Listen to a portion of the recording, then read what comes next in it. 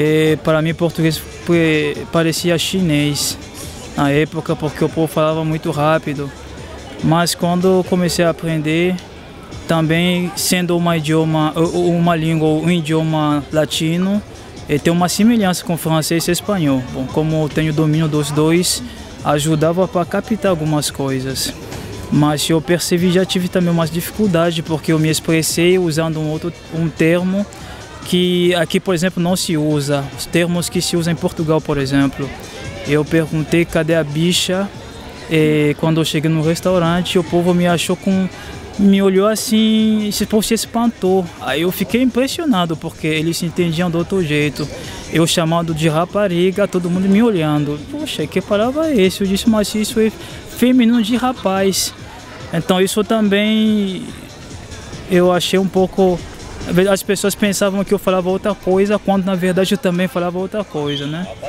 Isso são certas dificuldades que a gente enfrenta, principalmente os estrangeiros. E outra coisa que eu percebi aqui com a língua portuguesa é que, por exemplo, em Recife, as pessoas falam, por exemplo, tu fosse, tu fosse ao mercado, né? Isso, isso já não está errado.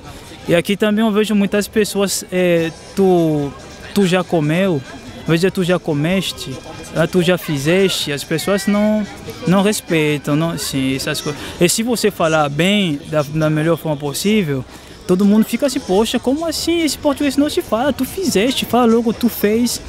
Quer dizer que as pessoas, a maior parte quer que você fale da forma errada. Então, se você falar da forma correta, todo mundo, poxa, você quer mostrar que você quem sabe quando na verdade o estrangeiro pode até falar um idioma melhor que o nativo. Por quê? Porque ele aprende da melhor forma possível. E o nativo já nasce e cresce aprendendo errado. Então eu vou falar da forma que eu aprendi, não da forma que o povo fala, né?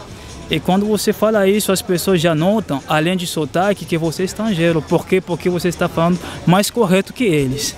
É isso que a gente encontrou aqui.